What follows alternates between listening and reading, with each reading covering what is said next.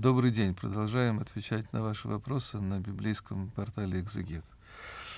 Вопрос. Нужно ли стремиться к святости или это удел избранных?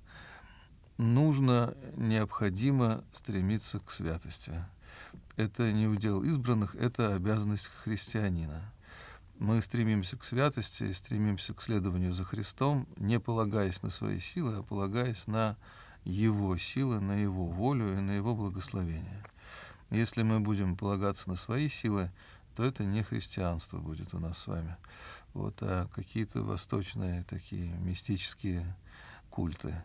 Да, да, мы уповаем на Христа и верим, что Он может привести нас к нашей собственной святости, которая именно для нас с вами лично уготована.